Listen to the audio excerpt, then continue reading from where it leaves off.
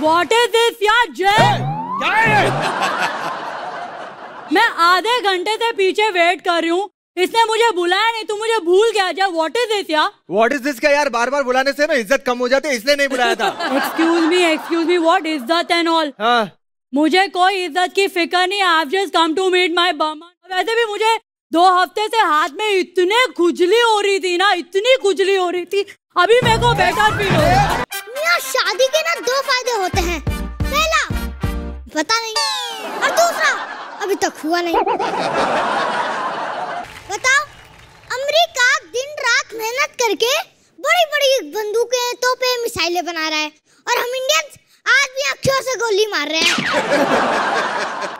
सुनिए, अजी सुनिए ना। अबे सुन।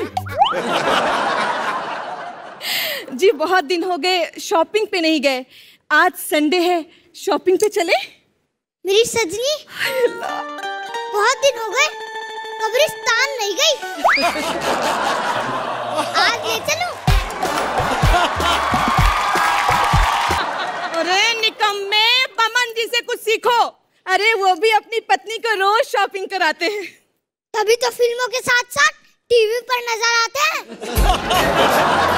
माइंड ब्लोइंग बहुत मज़ा आया। इतना हंसा हूँ मैं। पंचलाइन ज़बरदस्ती। अरे चूजा भी दो फुट बड़ा होता है तुझसे। अब तुम्हारे जैसे कटप्पा के सामने मैं तो छुटप्पा ही लगूँगा ना।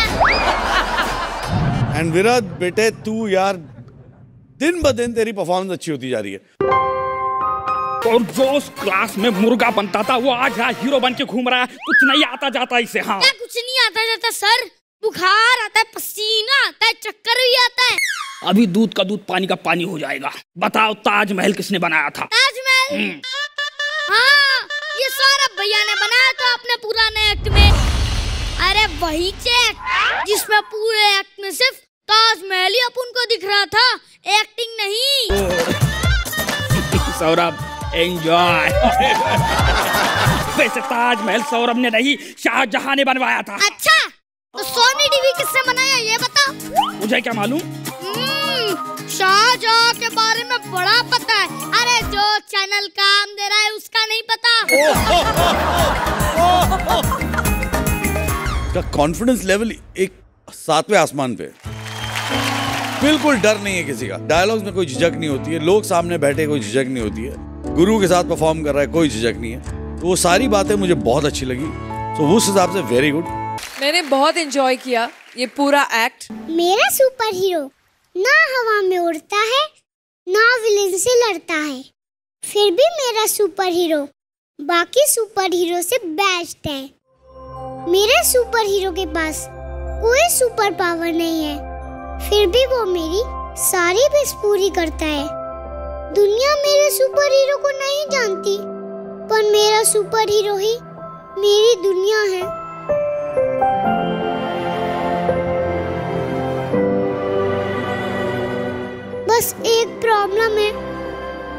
मेरा सुपर हीरो मुझसे झूठ बोलता है कि उसके पास ढेर सारा पैसा है।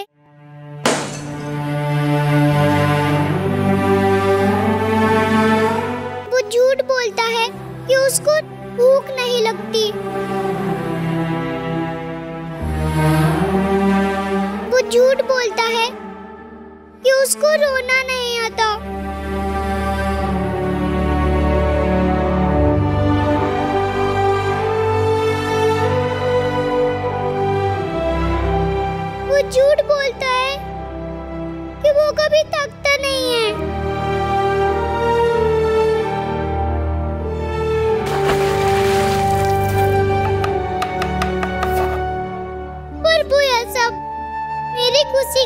करता है। I love my daddy my super hero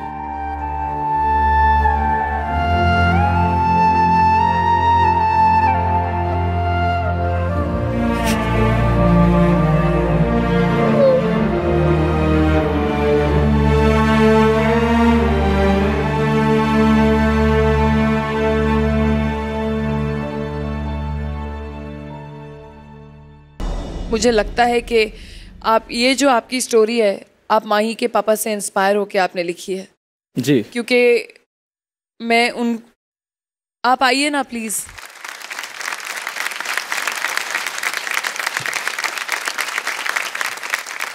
आपको क्या महसूस हो रहा था कि क्या ये आपकी कहानी है?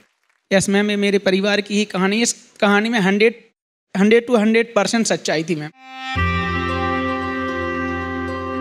जैसे अभी भी हम आपको बताएँ, हम कहीं मार्केट कुछ भी सामान लेने के लिए जाते हैं, और माही को कोई फ्रॉक, जूते, चप्पल कुछ भी पसंद आता है तो कहती है, पापा, देखो वो सामान कितना अच्छा है।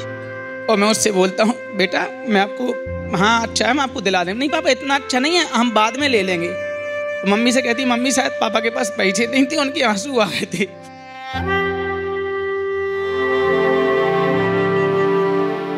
राहुल, तुम सच में तौर तो ये बहुत अच्छे लग रहे हो। थैंक यू बस साथ में चाय ले लो। हाँ? हाँ और बोलना शुरू करो। क्या बोलू अंजलि? राहुल ट्रेन स्पीड बढ़ा रही है। ओ यस मेरे दिल की बात कह दो? कौन सी बात अंजलि? चने चने खाओ गर्मा गर्म चने। अंजलि अंजलि अंजलि।